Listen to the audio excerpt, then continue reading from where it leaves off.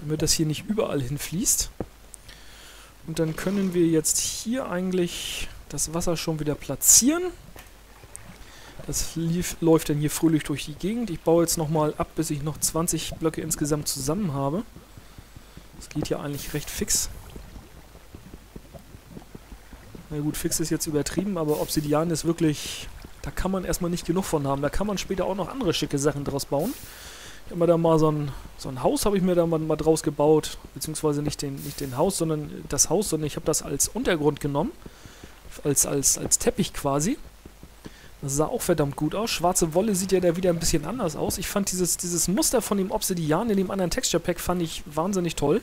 Das hier ist ein bisschen hässlich, muss ich sagen, aber es ist Obsidian, das muss, nicht, muss einfach nicht schön sein, das benutzt man ja auch eigentlich zu, nicht zu viel. So, jetzt muss ich hier erstmal sehen, dass da das Ding reinkommt. So, jetzt schwemmt sich das Obsidian da hinten hin und alles, was wir gerade abgebaut haben, das ist sehr schön.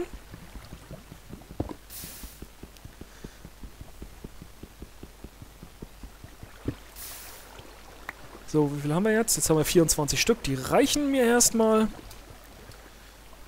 So, wie komme ich jetzt hier schnell wieder raus? Da geht's runter und da geht's nach hinten. Wir haben 61 davon.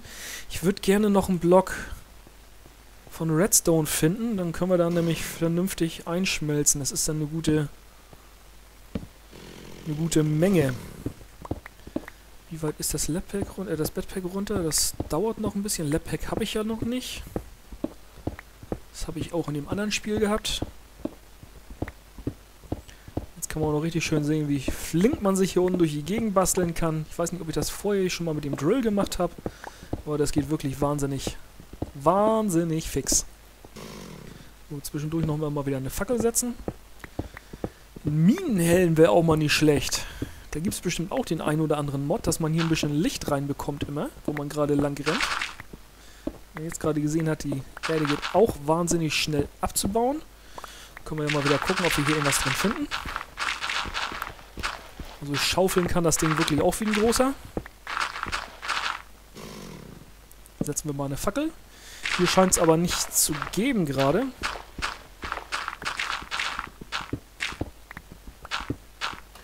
Nö, nicht wirklich.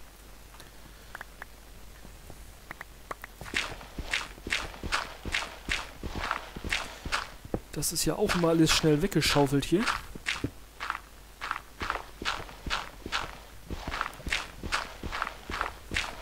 Hier hat es aber auch Kies. Da können wir nachher auch schöne Wege draus bauen. Kies lässt sich wunderbar zum Wegebau benutzen. Das sieht immer ganz gut aus. Ne, hier scheint es nicht zu geben mehr hinter. Bauen wir mal weiter ab. So, mal gucken, ob wir gleich hier... Ich hoffe, ich treffe jetzt hier... Ich treffe jetzt hier fix auf Redstone. So ist jetzt hier... Ach so, hier waren wir schon mal. Da ist schon wieder Eisen. Wir brauchen unbedingt mehr Redstone.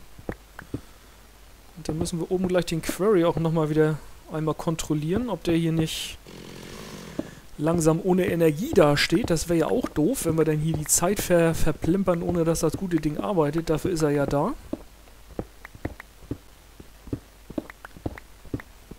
So, hier kann jetzt auch gerade nicht viel sein, weil wir da von, dem anderen, von der anderen Seite her schon mal abgebaut haben. Aber erstmal weitermachen. Ich höre hier schon wieder Lava. Öfter mal eine Fackel setzen. Das habe ich die in letzter Zeit auch wieder schon wieder verpennt hier. Nicht, dass hier irgendwelche Mistviecher plötzlich spawnen. Das nehmen wir erstmal alles mit hier. Das ist ja auch immer gern gesehen. Das können wir nachher alles in Recycler, in, in Recycler kloppen. So rum. So, wir haben 11 Gold, wir haben 24 Obsidian und wir haben immer noch nicht genug Redstone. Ich würde da gerne auf einen kompletten Stack kommen. Aber irgendwie wird das hier nichts Großartiges. Übrigens, er zeigt mir jetzt immer an, dass ich den Diamond Drill zugange habe. Das liegt daran, weil er jedes Mal, wenn er aufgeladen wird, beziehungsweise er wird nicht mehr aufgeladen, weil er immer wenn er da seinen, ähm, seinen Zustand ändert, weil entweder was rein oder raus geht an Energie, dann ist das ein neues Icon, was jedes Mal neu generiert wird, deswegen zeigt er mir das jedes Mal an. Das ist auch bei anderen Werkzeugen so. Wenn ich jetzt ihn hier länger drin haben würde, würde das irgendwann verblassen. Sieht man sehr schön. Er würde auch jetzt verblassen. Sobald sich der Ladezustand ändert, oder der Vernichtungszustand oder der, die, der Verbrauchszustand, das ist ja auch bei Äxten und Schwertern ist das ja auch so, ändert sich quasi die ID von dem, von dem Drill hier und dann wird er neu generiert und dann wird er mir wieder immer angezeigt.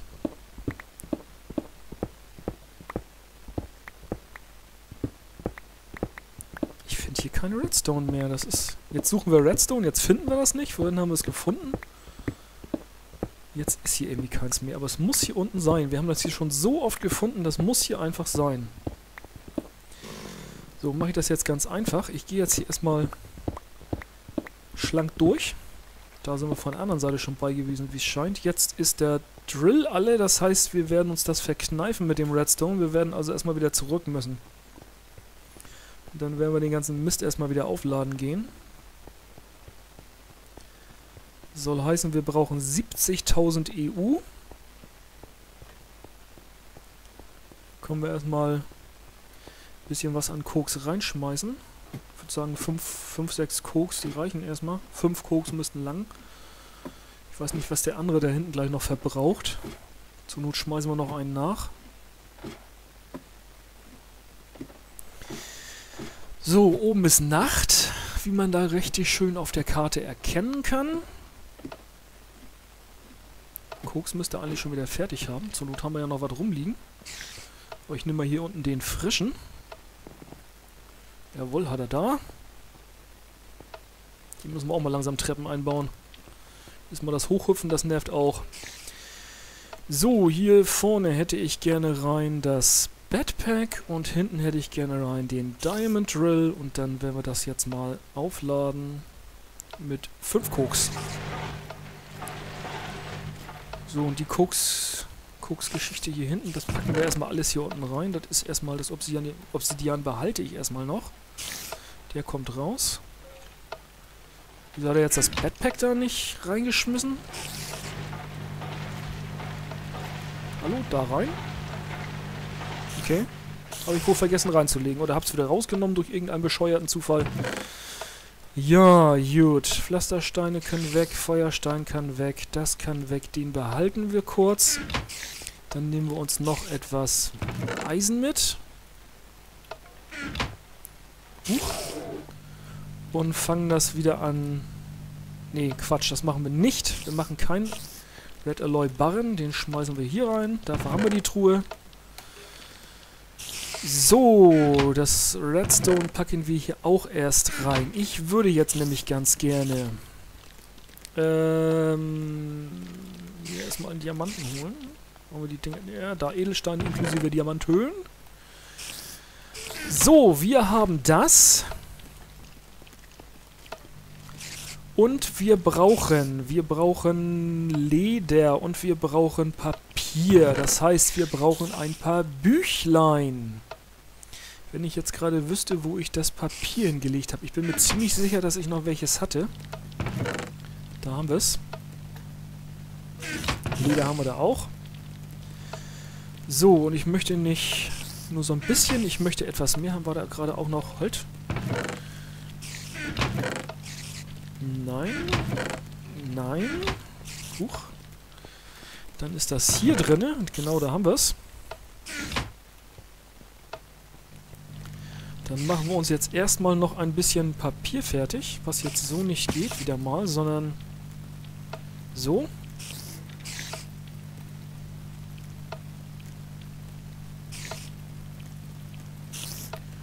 ...30 Seiten sollen mir erstmal genügen. Mit den 33 hier haben wir das denn. So, dann machen wir uns jetzt hier mal zwei, drei Bücher fertig werden wir jetzt nämlich auch brauchen. Und da muss ich mal einmal nochmal gucken, wie das mit dem Verzauberertisch aussah. Ähm, heißt der Enchantment Table immer noch? Enchanted Book.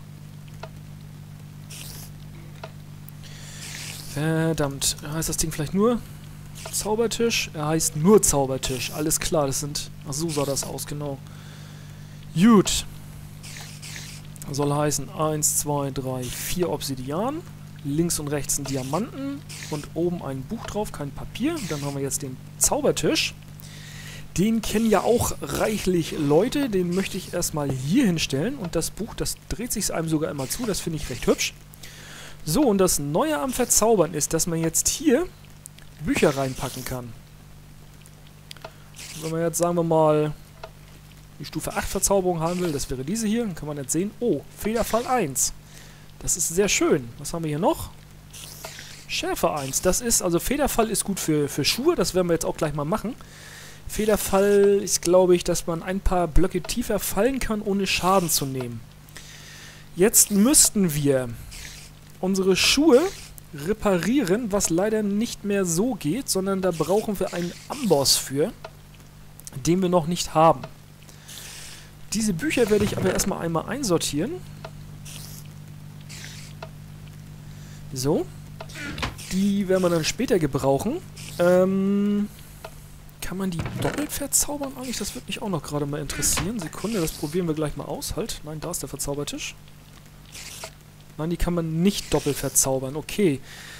Soll heißen, wir werden jetzt mal einmal was ausprobieren. Und zwar würde ich jetzt gerne diese Dinge mal mit ein paar random Verzauberungen einmal versehen. Mal sehen, was wir da so zusammenkriegen. Vielleicht kriegen wir hier sogar Wasseratmung hin. Ja, das funktioniert leider noch nicht alles so, wie ich mir das vorstelle. Schutz 1 ist schon mal gar nicht so verkehrt weil wir eben noch keine Bücherei drumherum gebaut haben. Das werden wir später auch noch machen müssen. Ich möchte aber eine Level 8 Verzauberung, danke.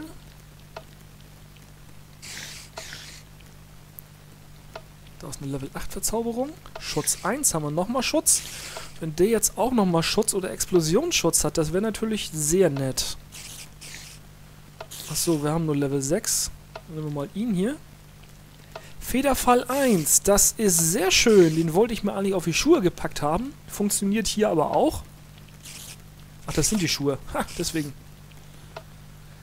Eisenbeinschutz. So, das heißt, wir haben jetzt Schutz dazu bekommen.